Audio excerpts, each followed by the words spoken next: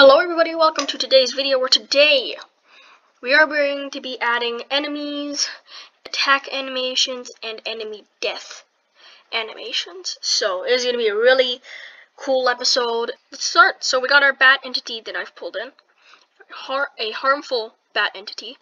And then I have my player here and I've added in attack animations for all of the different directions. So that is all ready. So that's what we're going to be doing today. Uh, going to my bat entity, we're going to add in some of the code from the interactable grass. And then we're just going to modify it. And it's really going to make things much easier for adding our enemies. Since it actually has lots of the same code. So, we're going to clean up our blocks. And we want to change this broadcast to new message spawn passive bats and then I, when I receive spawn passive bats. I'm also going to take out three of the clone positions. And then with our set animation here, I am going to set the animation to bat fly at the very beginning. So bat fly. I am going to go to my clone position, and this is going to be how the bats spawn. So I'm going to put a forever loop around this. Wait, pick random. 8 to 12 seconds, I'll say. 8 to 12 seconds if you want to add a little bit of variety to it. And um, now what I'm going to do is I'm going to turn on my scroll X and scroll Y variables. And I'm going to go to one of the corners of the map. Just like this. And then I'm going to record down these X and Y in our pick randoms. Which we're going to put in the X and Y positions for our clone position block. So for our scroll X, I'm going to put negative 300 35. For a scroll Y, we're going to go negative 235. And then I'm going to record this. So we got 325 and 230. And there you go. So now it's going to spawn around the entire map, just like so. It's going to be nice. And these are, the bats aren't actually going to be harmful. This is just the passive bat entity. That's why I said spawn passive bats in my broadcast. And then for our set animation, I'm going to go set animation to bat death, which is this part right here. So now what I'm going to do is I'm going to take all of these scripts and I'm going to put them inside of the harmful bat entity. So I'm just going to do this. So now this is all pretty, pretty um, pretty much ready. All I'm going to do here is add in a few scripts. For, since this is a harmful bat entity, I'm actually going to change the wait on this to be a bit longer. So I'll say 17 to 21. And then I'm going to take four if-then statements that have below in them. I'm going to duplicate them. Just like that. Going to my sensing, I'm going to backdrop of stage. Going to change this stage to a player. And this is going to be X position of player, X position of player, and then two Y position of player. Now you're going to put one X position in the number and one in the blank. Just like this. And then I'm going to repeat that pattern with the Y. And then we're going to go to the motion. And we want the X position corresponding to the X position of player and Y position of player in the if then statements. And this is just going to be how the harmful bat entity follows the player. Then we're going to go to our variables and we're going to grab for change. We're going to make two x's by 2 and neg 2 and two of them y's by once again 2 and neg 2 and put them in their corresponding places. So there should be neg 2, 2, neg 2, 2, if I'm correct. And I'm going to put that there. Now, we want to have a little bit of variety with this. All of our bats are facing the exact same direction. So I'm going to go to my point and direction here, go to my operators, and I'm going to make a pick random 90 to neg 90. Then I'm going to pull it in to the bat entity and put that inside. And quickly, I'm just going to change this broadcast to spawn harmful bats. And I do realize that you can uh, use same broadcast for the, both bats, but adds a bit of variety, makes it easier in case you want to add something else. So, um, so now that can happen. And if you don't want to wait uh, this amount of time, then you can just duplicate your clone position block from the forever loop and just click it. And as you can see, they spawn. Just like that. Let's try this again. And there you go, now the bat animations are fixed. Just because of the code and everything. But here's the thing, the, the bats aren't actually facing the player. Like, look at this. So, make sure you have your direction set to left and right.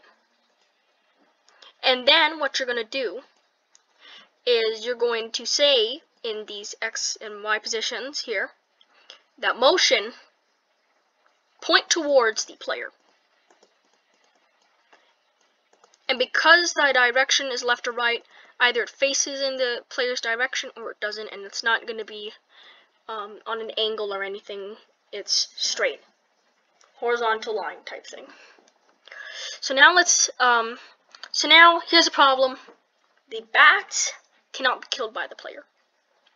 And the player cannot be harmed by the bats. So right now, nothing, nothing exciting can happen with the game. But we're going to change that. Going to our reset player in our player sprite, I'm going to grab an if then. If the mouse is down, then my blocks, we're going to make a block called player attack. My spelling is horrible today, sorry. and I'm just going to drag that over the side here. So in this player attack, I'm going to go to my move player here, in our script here, that is the move this frame, I'm going to duplicate it. And I'm going to move it all the way over into the player attack. Then, I'm going to go to my attack animation here, and I'm going to set this to W attack, just because of the name of the different attacks. So now that that is all done, we're going to create the script that makes the player get harmed. So I'm going to say that when I receive reset player, then forever, if touching the color 0, 185 which is the most common color in the harmful bat entity. That is why that color is used. Then, we want to make a variable, health, for all sprites. we want if then we're going to change the health by negative 1. And then wait one second. And then going to our one green flag clicked here, I'm going to say that we are going to set the health to 5 at the very beginning.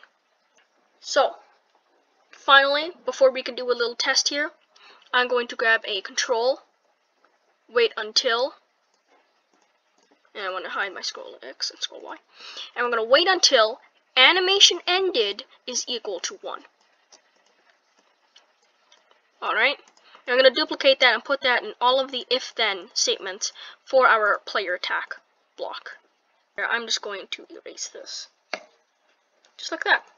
So boom, boom, boom. So I'm going to go 0 0.05.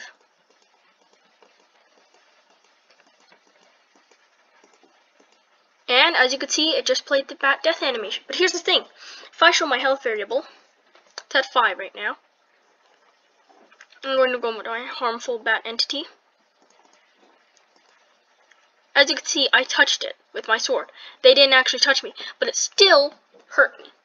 Why does this happen? Well, that's because we have the detection as a touching color.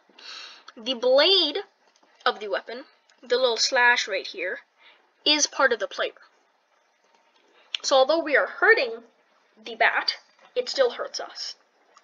So quick fix to this, we're going to make a variable player animation for this sprite only.